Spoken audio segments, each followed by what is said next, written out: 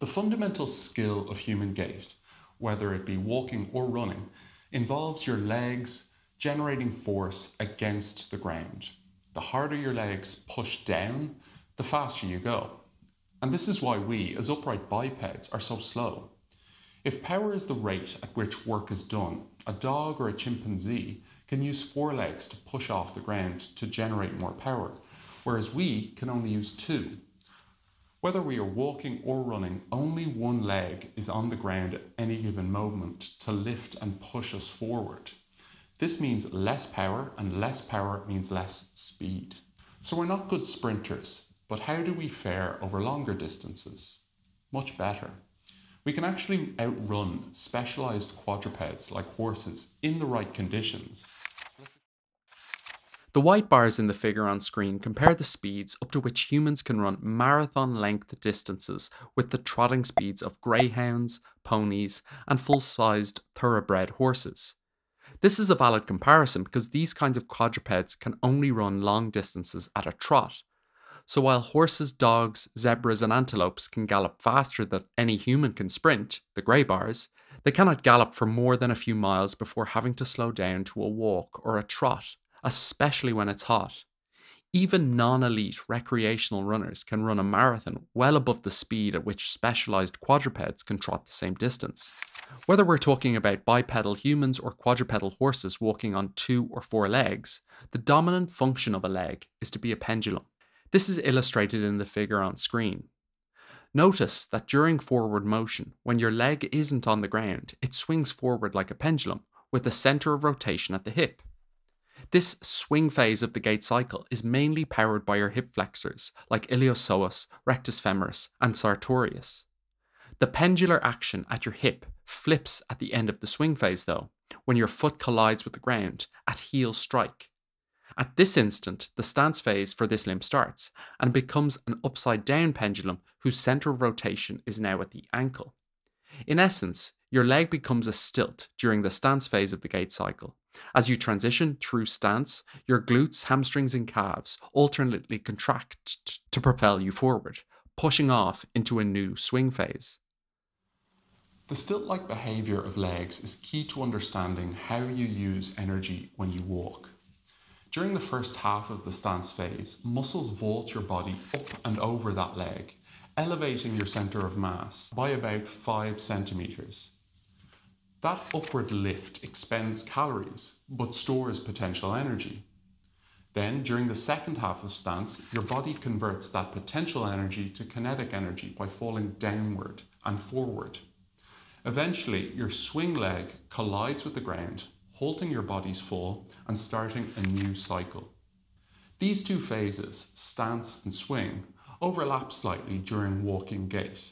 Stance is defined as the period from initial contact of the foot to toe off and is made up of the loading response, mid stance, and terminal stance subphases. Swing is defined as the period from toe off of the foot to initial contact and is made up of the initial swing, mid swing, and terminal swing subphases. 60% of time in a single walking gait cycle is spent in stance, and 40% is spent in swing. A single gait cycle is defined as the period from initial contact of one foot during stance to the following initial contact of the same foot. The distance travelled in a single gait cycle is known as a stride, while your step length is the distance from initial contact of one foot to the next initial contact of the opposite foot. Gait velocity is stride length divided by stride time, while cadence is the number of steps per unit of time.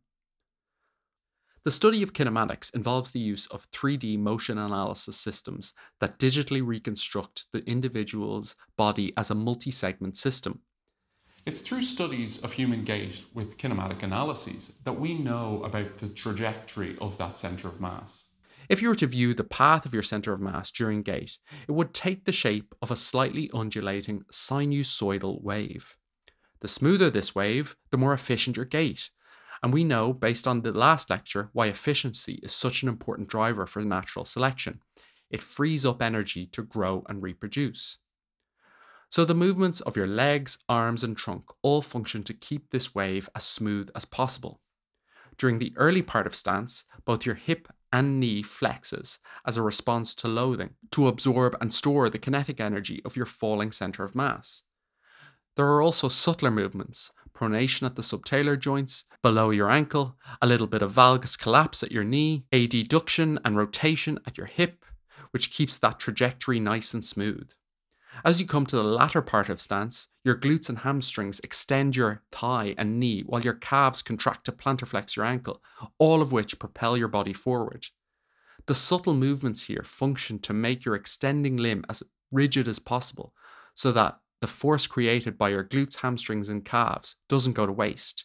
You supinate your subtalar joint, your knee goes from floppy valgus to firm varus, your hip abducts slightly, all to keep that limb as rigid as possible so that it can transfer the force generated by your muscles to the ground. But once we reach walking gait speeds of around 2.3 to 2.5 meters per second, an important transformation occurs it becomes more efficient to adopt a new motor pattern, running gait. This speed threshold corresponds to the intersection of the cost of transport curves for walking and running in humans. Basically, and in line with what I've been saying about considering gait through a lens of efficiency, we start running when it becomes more efficient to do so than walking. At these higher speeds, running becomes less costly than walking because it exploits a mass spring mechanism that exchanges kinetic and potential energy very differently. This spring stretches as the center of mass falls in the first half of stance and recoils to help the body push up in the second half of stance and then into a jump. Unlike in walking, the body's kinetic energy and its potential energy are in phase rather than out of phase. This reversal again allows us to save energy for what is essentially a different movement task locomotion at faster speeds. So, to summarize, when you're walking, the key energetic principle that moves you forward involves using your legs like pendulums to exchange potential and kinetic energy. When walking, at least one leg is on the ground at all times.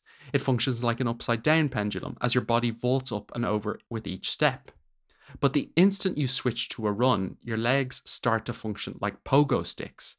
Instead of your body center of mass rising at the start of each step, it falls as you bend your knees, hips, and ankles.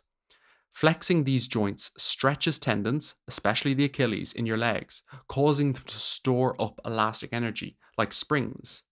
Then, during the second half of stance, the same tendons recoil while your muscles also contract, straightening your joints and pushing you up and into the air. And all the while, you lean forward at your torso, bend your elbows, flex your knees more as you swing them, and move your arms asynchronously with your legs.